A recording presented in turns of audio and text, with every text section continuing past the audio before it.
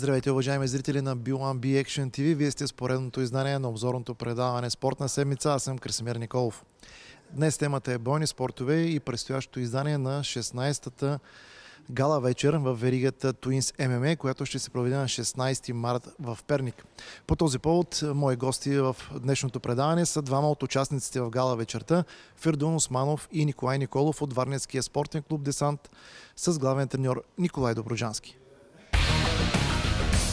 Започваме първо с Фердун Османов, който така, е един от участниците в тази гала вечер Twins MMA на 16 марта в Перник. А, имаш така повече професионални срещи, но за първи път на родна земя ще играеш профи матч. Какви са очакванията? Много съм развълнуван, че ще се бия в България, в София. Доста мои приятели ще дойдат да ме гледат, включително и брат ми. И като цяло мисля, че ще, ще е нещо ново за мене, защото от доста години не съм се бил България и съм много развълнуван. Какво знаеш за съперника ти Михаил Николов от София на 25 години, 170 см? Имаш ли разузнаване вече?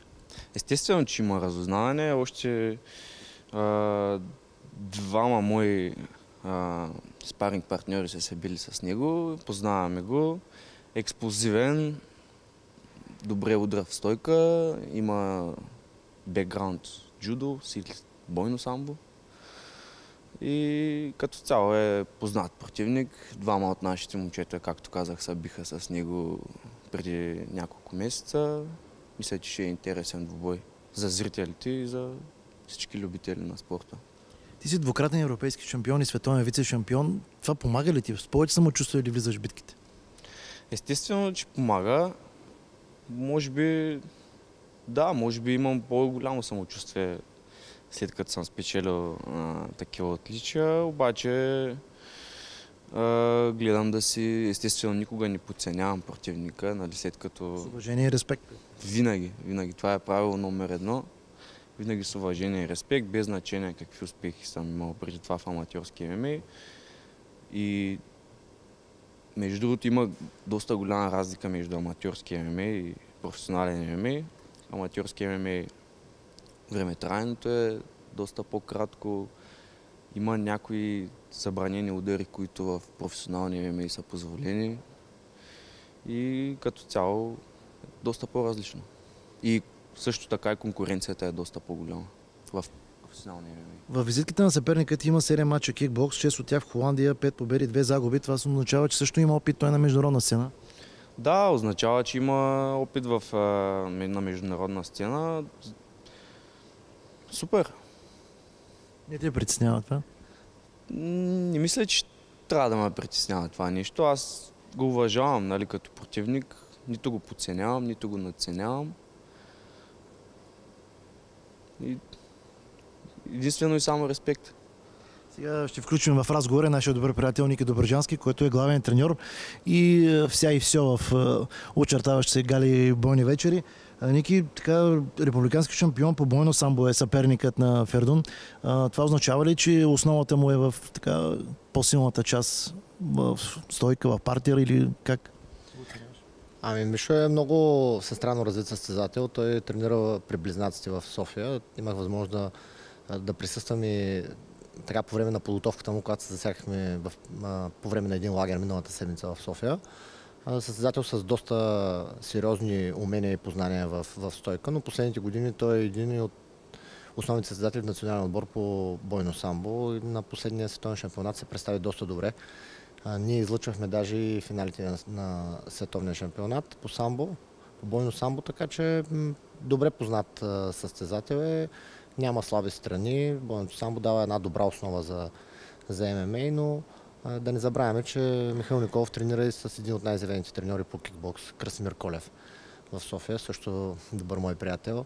Това означава ли, че има отново тактическо надлъгване между вас двамата? Мисля, че резултатът е един на един до момента. Резултатът до сега е един на един.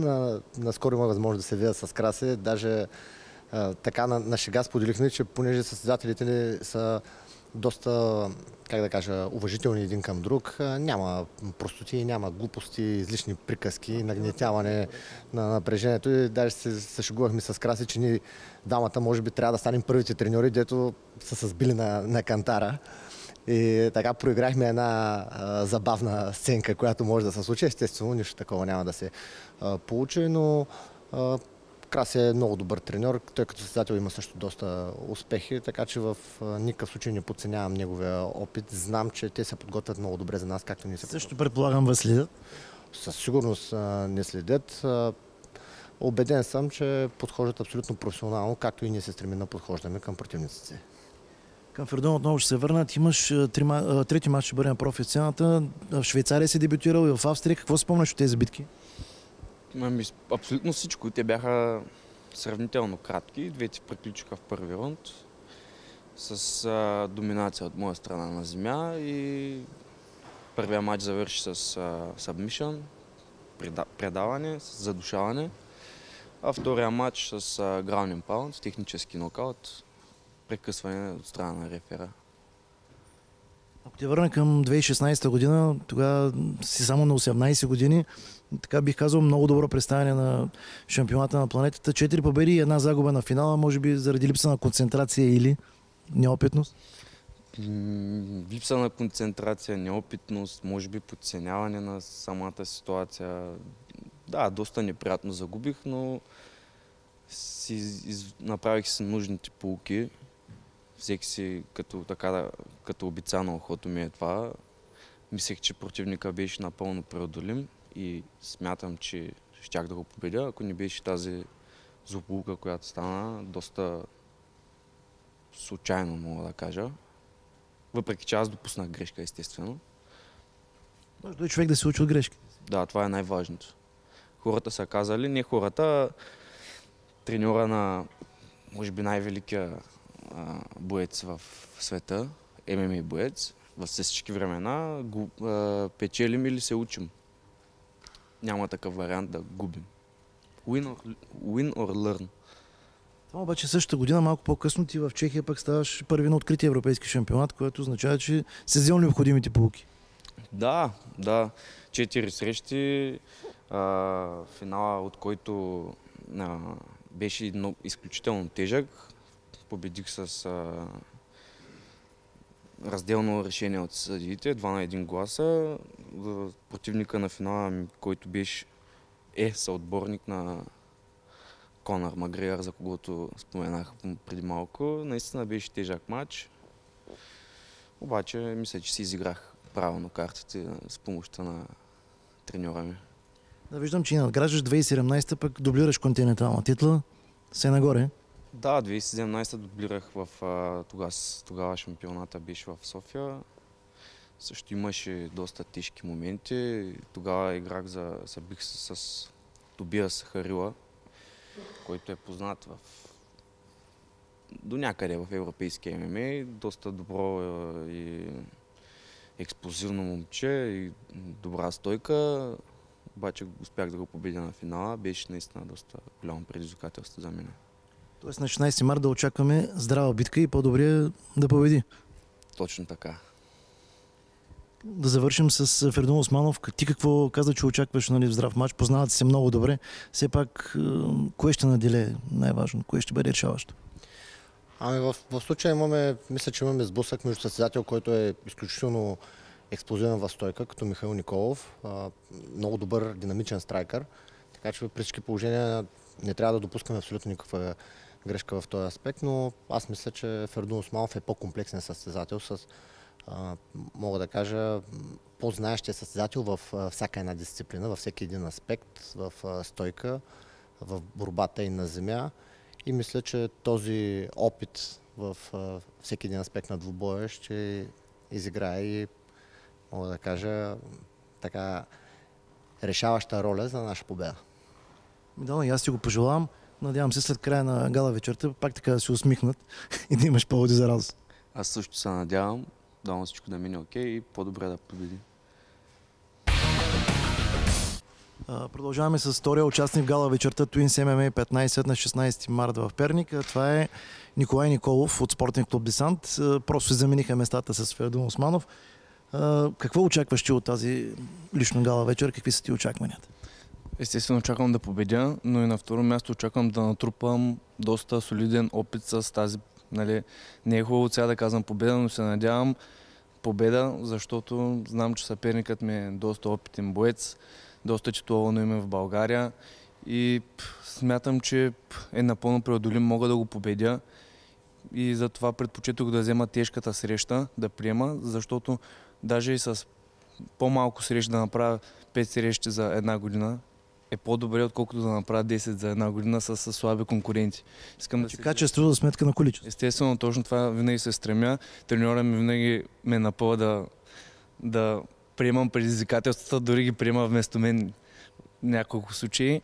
И се стараем да стана малко като промени ми се психиката. Старая се вече да, да надграждам, да, да приемам предизвикателства, които доскоро не съм вярвал, че ще мога да, да се справя с тях. И това ми е мотивацията да докажа на себе, да докажа на хората, да покажа на хората, които са покрай мен, че съм достоен за, за това място, на което съм в момента. Ти си шампион на ММА за аматьори. Какво е разликата между, чухме от Фердун и голяма разликата между аматьорски и професионални ММА?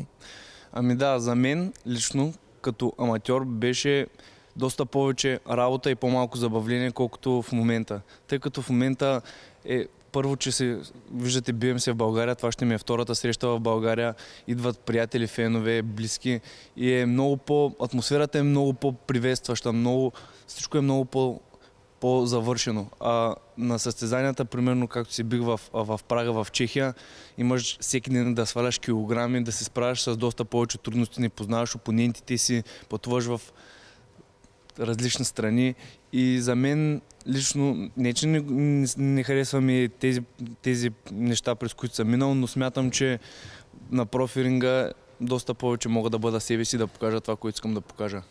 Все пак да кажем, съперникът и Янко Борисов, категорията е 77 кг. Предполагам, вече имаш представа за силните му и слаби страни? Ами да, запознахме се доста обстойно с, нали, с геймплана му, с играта му като цяло.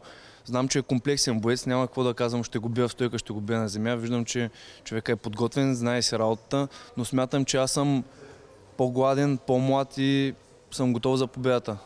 Това мога да кажа. Така към Ники Доброджански, който отново е личен треньор на Ники Николов. Шест мача като професионалист, две загуби, атрактивен и агресивен борец, поне така го описват. Ами, не е чак толкова агресивен Янко Борисов, но е много силен физически и много пресметлив състезател. Той стартира професионалната си кариера с загуба, обаче след това натрупа така една добра поредица. За наш късмет, отново наш състезател е имал среща с него, Драгомир Орданов, успя да го победи в един изключително атрактивен матч преди няколко години с съдийско решение, след което Янко мисля, че направи три или четири поредни, а, три поредни победи. Така че в момента той е на, мисля, така на върха на, на славата. Без съмнение, състезател на близнаците, отново а, силен клуб, който винаги е изкарвал корави състезатели. Освен това, а, Янко е с а, бекграунд гребане, така че със сигурност физическата сила няма да е нещо, което ще му липсва. Това, което забелязах в последния двубой, че доста е израснал в играта си в стойка, изключително търпелив, прецизен състезател и много техничен. И това, което също прави впечатление при него е, че е много добър като човек, много приветливо момче. Винаги е така голямо удоволствие да, когато се видя с него и да комуникирам с него. Ще има ли отново тактическо, треньорско надлъгване? Разбира се, добре се познаваме с неговите треньори, още повече, че вече сме имали сблъсък Янко срещу Драго. Мисля, че ще бъде доста интересно. Още повече, че в момента мисля, че Янко е в топ 5 в тази категория в, в България. И, както и Ники спомена, не бягаме от предизвикателства. Опасен съперник без съмнение е Янко Борисов, но мисля, че ако изиграем правилно картите си, ще излезем като победители. Ники, отново към теб. Ти в Прага, Чехия, така триумфира. Имаше два профи матча, доколкото спомням в Свети Власи в Виена. Така с огледа на тези двобои. Не се ли притеснява, че сега ще играеш също представител на домакините, който явно ще бъде подкрепен бурно от публиката или това няма значение?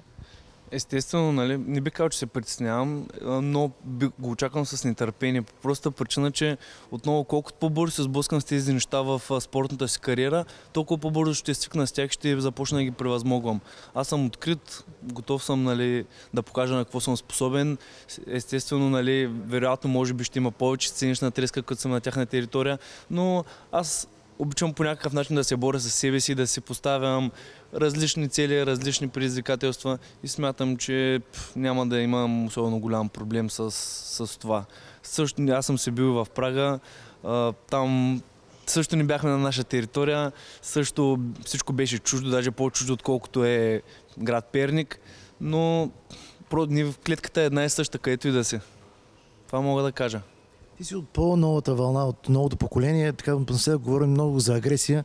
А, как би как посъветвам младите хора да изразходят своята агресия в залите, а не по улиците? Какво би им казал? Ами доста често ме пита този въпрос, защото нали знаят, че се занимавам доста дълги години с, с а, бойни спортове. Бих ги посъветвал да са по два пъти на ден в залата, по два часа, общо четири и със сигурност няма да имат енергия за тази агресия, повярвайте ми, гарантирано. И с такъв амбициозен наставник, докъде смяташ да стигнеш? Имаш ли идол или кумир в бойните, смесените бойни изкуства в момента? Световен мащаб? Ами да ви кажа, разглеждам го като един цялостен пъзел. Сгубявам парченцата малко по малко. Харесва, примерно как работи господин Доброджански. Вижда някоя техника, която може е сходна с нещо, което ще върви на нас и го вкарва в играта ни. Започваме да го работим, да го работим и вземаме от доста титуловани все, все, всеизвестни бойци и малко по малко изграждаме наш стил. Защото ако се опитваме на 100% подражаване на някой боец, това няма как да се случи. Всеки е различен, както характера, така и бойните умения. Но ако се стараем максимално да достигнем до съвършенството и до техниката да изпълняваме перфектно, мисля, че поне той ще бъде доволен. Така и за финал, кое е мотото или формулата за успех на Ники Николов? Рецептата. За мен е формулата за успеха е, че докато искам да го правя и мога да го правя, ще го правя. И това е. Благодаря си, пожелавам успеха. След кратка рекламна пауза продължаваме и с втората част на Спортна седмица. Уважаеми зрители на B1B Action TV, продължаваме с втората част на днешното издание на Спортна седмица. Намираме се в спортната зала в Морската столица, където намираме едно от най-известните лица в смесените бойни изкуства у нас, Никола Дипчиков. Какво ти води отново във Варна? По-точно водите гала вечерта, която е на 16 март в Санкт-Петербург. Как върви подготовката? Подготовката върви супер. Дойдох тук специално заради Николай Доброджански, да тренирам с неговия отбор, защото на София не е малко трудно да се организираме и тук има добри спаринг партньори. Светлозар Савов дойде специално заради мен от Турция да тренираме заедно и под ръководство на Николай Доброджански става, става доста добра подготовка. Ти си един от най-опитните ни бойци, така в по-тежките категории. Съперникът също е сериозен. Магомед Мотаев, предполагам, вече си наясно с силните му и слаби страни. Да, да, аз трябваше да играя с него миналата година, април месец в Италия, обаче в последния момент отпадна той играх с един украинец. И а, сега ми го предложиха да играем с него в Петербург и аз приех без, без да се замисля, защото вече съм го гледал този противник и няма нужда да правим нещо ново. Всичко е по-старому. Продължава да е вдясно от мен Ники Доброжански. Постоянна величина бих казал. Според теб, защо Никола Дипчев е избрал за пореден път тук да се готви по твое ръководство? Яно има защо. Ами причините са две. Първо Светлозар Салов, който дойде от Русе, доста по-близо му е на Зарко да, да се присъедини към лагера и Валерия Танасов, който е един от топ аматьорите ни в категория средна. И разбира се, той сега очаква и професионален дебют двама състезатели, които имат така сходни физически качества на Магомед Мутаев. Мисля, че валката е по-силния отряж дори от противника на, на Ники.